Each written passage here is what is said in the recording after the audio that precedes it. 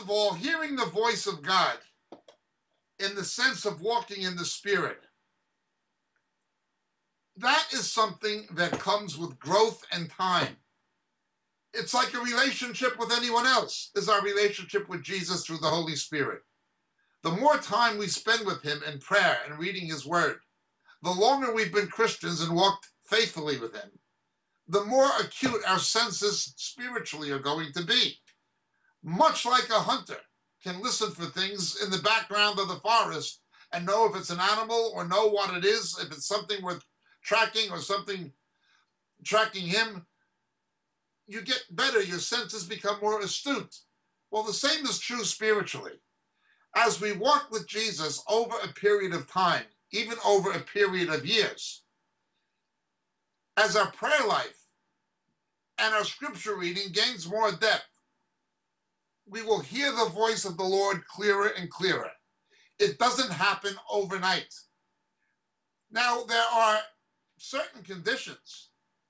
One, if we're not already acting on things the Lord has shown us or told us, He's not going to tell us or show us anymore. Has He shown us or told us to do something or to stop doing something and we're not acting on it? Well, that's going to stuff up our ears in a spiritual sense. We must act on what he's already told us for him to tell us more. Having said those things, and those things are all important and all very true, the basis of hearing God is Scripture. Remember, when we pray, we talk to the Lord. When we read His Word, He talks back to us. There is nothing the Lord has to say to me or to you that will not be based on rightly dividing his word doctrinally. He will never tell us anything that is contrary to scripture or not agreement in agreement with scripture. The first and foremost way that God speaks to us is through his word.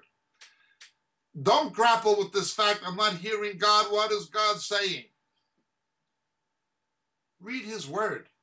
That's what he's saying.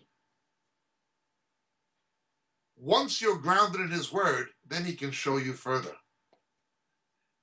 Now, understand something else. Things can become nebulous at times, even for people who've been saved a while, even for so called quote unquote mature believers. We have a fail safe mechanism. When the Lord opens, no man closes, and when the Lord closes, no man opens. It's called providence. If we are acting in accordance with our best understanding of what we think God wants, and we say, Lord, do not let me get out of your will or do something I shouldn't, we can trust Him to close the appropriate doors and open the ones that are appropriate, and close the ones that are appropriate to close, or that is, close the inappropriate doors. He opens, no man shuts, shuts, no man opens. Now, this takes the question further into the next realm of how do we know God's will. But understand it begins with Scripture.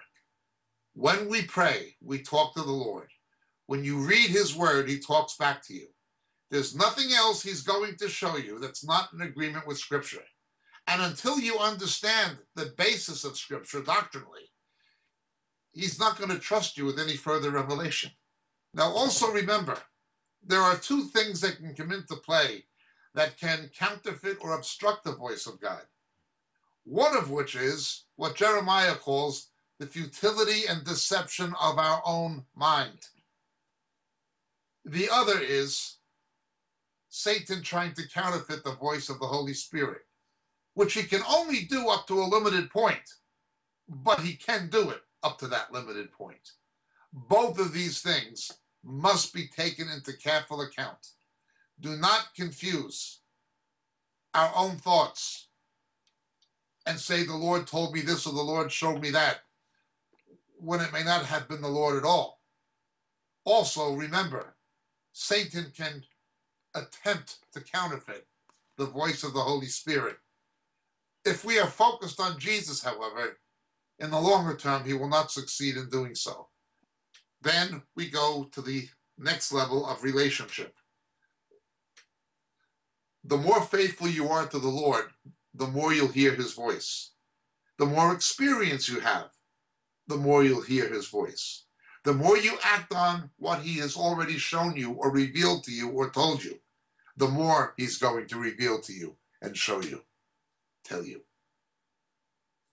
It's not a simple formula in the sense that it's not necessarily quick, but it is a simple formula in it's common sense.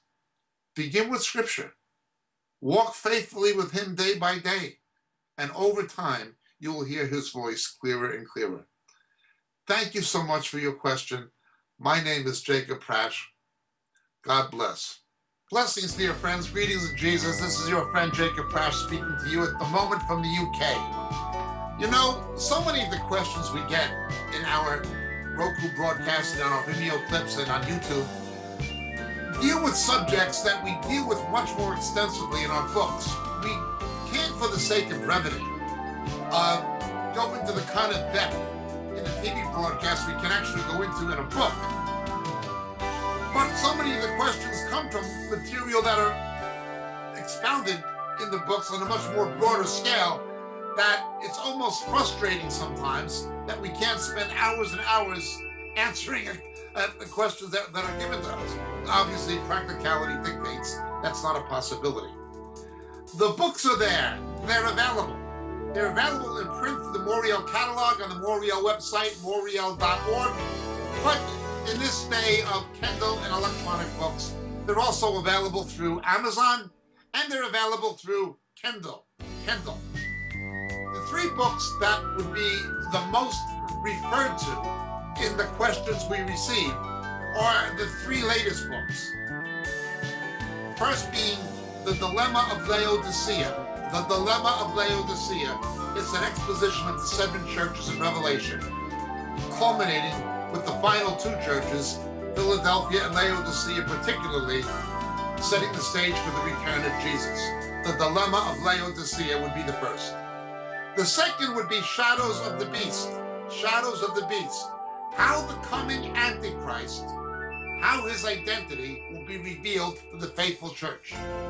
The rapture will not happen, will not happen, absolutely not happen, until the faithful church knows who the ultimate beast of Revelation is. That is the Antichrist and also the false prophet. How the identity of the coming Antichrist will be revealed to the faithful church.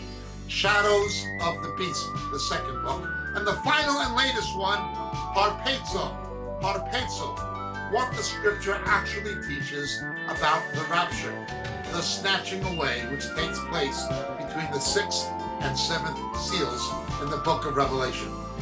So these three books, Dilemma of Laodicea, Shadows of the Beast, and Harpazo, all available in the Moriel catalog, all available through Amazon, and all easily available electronically by Kindle.